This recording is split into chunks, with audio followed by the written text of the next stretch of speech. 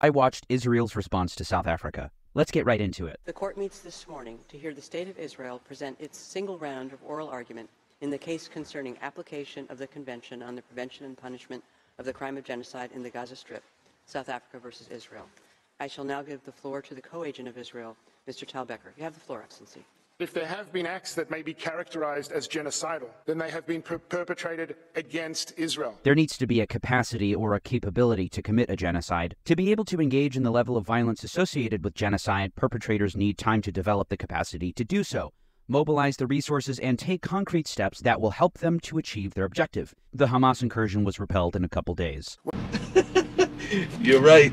You're goddamn right.